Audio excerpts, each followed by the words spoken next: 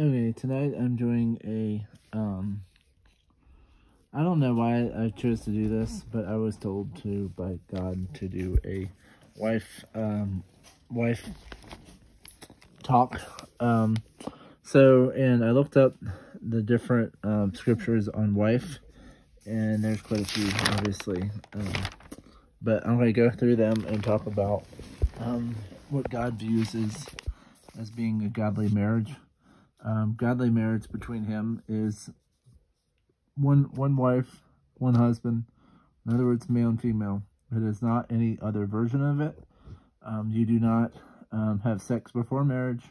That is a no-no. And what they did in the old days when they married is they had a big feast. And it was like several days worth of just partying and whatever. And there were no rings involved either. Um, so, um, and the ring kind of means infinity because um, it's basically when you have a ring, have a ring, it's infinite because it keeps going around that same thing. There's another one where it kind of does the figure eight, and I've seen that symbol. Um, and uh, so, yes, those are symbols we don't use. um, and what I find very interesting is the first scripture that I ran into is Baal. And this is uh, to marry, to have dominion over, be husband, married, wife, possession, and to rule over.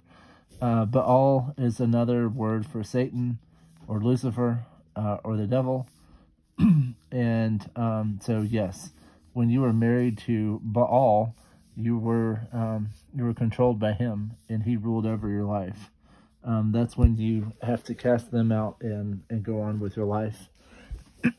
Jeremiah um, own and possess is, is another way of um, so Jeremiah three fourteen, turn uh, uh, o backsliding children, for I am married unto you, and I will uh, bring you to Zion. So this is um, talking to us, and he wants us to turn from our back backsliding, because if you've uh, if you know of the wedding supper, um, God talks about the wedding supper and how um, He's going to have a wedding supper for all of His children.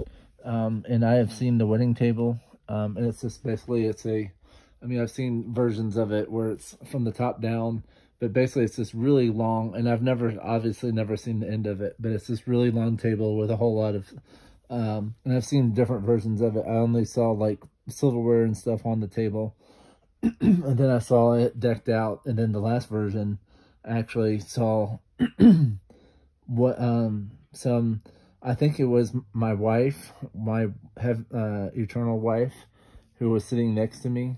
Um, but yeah, so we um, will have a wedding supper for God, and we will be married to Him. Um, and this is basically like his, he's marrying us and basically solidifying his commitment and uh, relationship to us. Um, so he's asking in Jeremiah, just to give you a little background, the people had backslidden during Jeremiah. Jeremiah kept warning them and warning them and warning them for many, many years, and they they never listened to him. So he basically gave them over to Babylon, and uh, Babylon um, was, I don't think it was Nebuchadnezzar. Nebuchadnezzar was Daniel. but uh, was it Cyrus? I can't remember who who took them over, but Babylon came in, um, took them over, um, and then they were under the rule of Babylon, and um, they they didn't realize that they were um, they were like, oh well, we're fine and nothing's going to happen to us, um, and that's what we're thinking now. It's like, okay, well, God is warning us right now to come back to Him. It says, Turn, O backsliding children, for I am married unto you, and I will bring you to Zion. Because he wants us to. Zion is, I think, in the Bible, it's been referred to as, as God's heavenly hill. Um, and so, um, so he wants us to go to him. and I have seen myself on a mountain with God many, many, many times, um, especially throughout these last couple of months. so, Jeremiah 31, 32, not according to the covenant that I made with their fathers in the day that I took them uh, by the hand to bring uh, them out of the land of Egypt, uh, which my covenant they they break. So that's um, in relation to um, most people turn away from God. And what I find interesting is if you look at the Old Testament and New Testament, it's a ongoing process. I mean, you have a person show up who's righteous and holy, and they bring um, people back to God. And then he dies, and then uh, they go go back to sinning, and this this process repeats, where another person comes, and then um, they all go back to God, um, and then he dies. I mean, it's this ongoing process. Um, and so there are a lot of prophets right now warning that the end is here. Um, there are many things in place right now. Um, there are, um, I've seen palm scanners right now being set up. Uh, we see things going under lock and key. Um, and they're basically causing things to happen in order for them to lock stuff down. Malachi 2.11, uh, marrying a strange God. Um, um, well, this is in reference to marrying a strange God, and he's referring to Judah. and um, people have, and you notice how Baal, it's to have dominion over. So basically, um, this is used um, because we marry ourselves to um, to strange gods, and when we allow sin and other things to come into our life, they basically will take over and um, they say that um, they have dominion over us because th- we allowed them into our lives. So that um, so that's um, so yeah, that's really bad.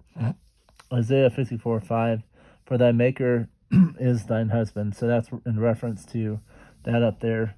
Deuteronomy twenty one eleven, taking what a wife from people. Um, Deuteronomy twenty one uh, oh. so basically, I I wanted to put this because um, it shows that um, God wants um, people to be married to one wife from his people. Um, and it says in the Bible to not be unequally yoked. And that means basically you do not have, you need someone who has similar beliefs that you do. Uh, and we should all, um, it's, it's not about religion, it's about relationship with God.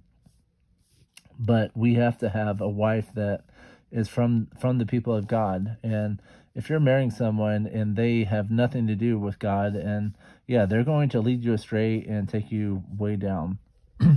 Deuteronomy 21 15. I was looking up verses to see if there were places where it mentioned two wives, and this one did.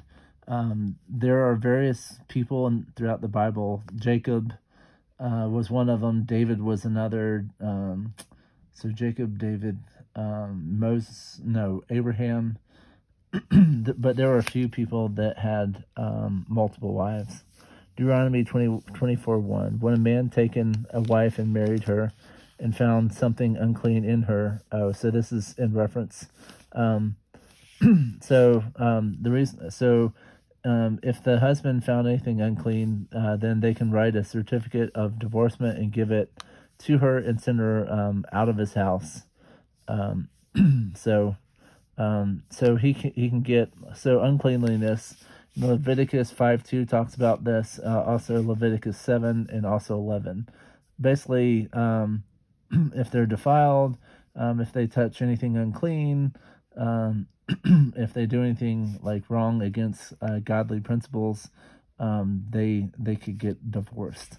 Um, like if you find your wife cheating or mistress or whatever, um, it's it's not a good thing, and they have to turn from it because it's actually you're actually agreeing with it if if you know about it and keep on going.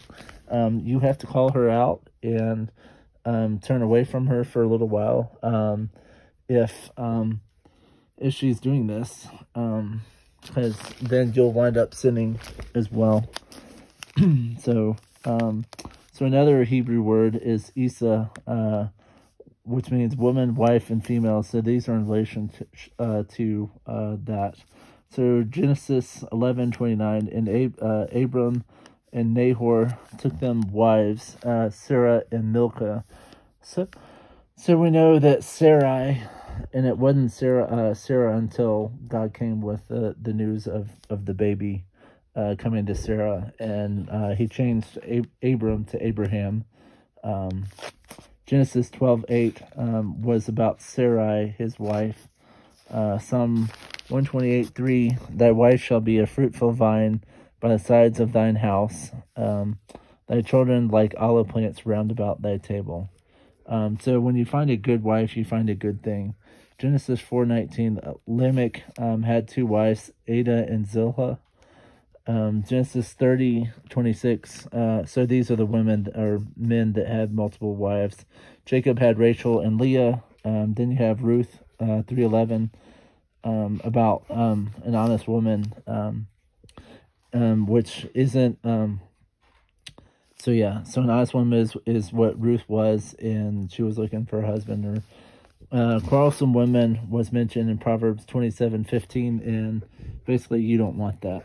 and in Hosea 1, 2, talks about a harlot, um, a Greek, um, Greek wife, uh, word is gamio, and it's to wed, marry a wife, lend in marriage. Um, and a lot of the Greek words um, came out in the New Testament. They didn't come out in the Old Testament uh, Luke 17, 27, uh, 27, married, drank, and ate until Noah entered the ark. So this is in reference to what happened during uh, Noah's time. Um, so this is also in uh, reference to the end of days, uh, because the people married and drank and ate until um, until really bad things happen, and that's what we're living in today. Is people are pretending like nothing's happening and going along in life um, and God's about to shut the door and go, okay, it's done. Uh, 1 Corinthians 7.28, marriage is not a sin. Um, Matthew 5.22, divorce a wife because of fornication causeth uh, her to commit fornication, which equals adult adultery. Uh, Mark 11, Mark 10, 11 also talks on this, and Matthew 19, 9 looks like um, and also Luke 16, night, uh, 16 18, sorry, talks about divorce. First Corinthians 7, 9, but if they uh, cannot contain themselves, um, then they need to be married. Basically, if you can't control yourselves and need to release um, in sexual ways, then it's better for you to get married than to um, not marry. You're not supposed to have sex out of marriage. 1 Corinthians 7.39, bound by law to husband, but released if the husband dies. So uh, 1 Corinthians 7.39 talks about um, the law of the husband. Uh, 1 Timothy 5.14, marry, have, and this is basically what you're supposed to do. Marry, have kids, guide a house, um, give no chance for adversary uh, to come in and do anything. Um, Romans 7 2, woman is bound till husband dies. Ephesians 5 28, men uh, loves wives um, as their own bodies. So basically, um, you're supposed to love your wife like you do your own body. Sorry. Um, so Proverbs uh, 12, for an excellent wife is the crown of her husband, but he is, uh, he who, who shames him is like rottenness to his bones. Uh, Proverbs 19:14, a prudent wife is from the Lord. Um, Proverbs 31, you've probably heard of Proverbs 31 ministry, um, but these are the traits of an excellent wife, and you'll have to look at them, um, but it's quite long. Uh, but it's the Proverbs 30, 31, and I would advise you to go look at it. Uh, Proverbs 18:22. He who finds um, a wife finds a good thing and obtains favor from the Lord. Uh, you you definitely want favor from from the Lord because things go right with you uh, when you follow God. Um, enemies are no more. Um, God gets rid of every uh, obstacle in your path. Uh, Ephesians 5:22. Wives, be subject to your husband as to the Lord. Um, Colossians 3:18 um, says the same thing. Uh, First Peter uh, 3.11 talks about having uh, wives submit to your husbands, um, like a husband submit to the church. And, and basically, it also says that uh, that husbands are also supposed to treat the woman like they treat the church. In other words, very well. And the church basically is a group of people. Uh, group of people. Um, I found uh, the church is not a building; is a group of people. First Peter 3 7, men love your wives, uh, honor honor her. Numbers 5 31 through uh, 11 through 31, that's about adultery. Proverbs 21, 19, better to live in a desert than, uh, than with a contentious and vexing woman. So yeah, if you, if you have a, a woman or you're, if you're dating someone and they're, they're doing nothing but vexing you and causing you issue, um, you need to get the heck out of there. Um, you need someone that is going to um, love you and treat you right, not someone that's going to use you and manipulate you, uh, which I've seen a lot in my life. Um, and I work in a facility that I actually see students using and abusing each other when they have these so-called relationships. And I see these student girls, um, they keep jumping from one guy to the next. Um, and that's not a, a proper relationship. Um, and you're not supposed to divorce your wife unless uh, for, um, I think the only reason why was adultery. But I can understand if you're being abused and that type uh, of thing. Um, like if you're being abused and raped and all that stuff, um, you need to get the heck out of there um, and find a, a safe place and an abode where you can go. So, um, so yeah, um, so these are about all the wife scriptures, um, but, um, but yes, God is about to bring his bride home. Um, so, um, he wants us to live righteous lives. And if you're living with a divorced woman, um, it says in the Bible that, um, if a woman gets divorced and you, uh, basically get remarried, you're in a divorce, um, and, uh, you're causing adultery, both you and her and God wants you to leave. Um, he does not want you to be with a, uh, a divorced woman. So, uh, thank you for joining me, um, and have a great night.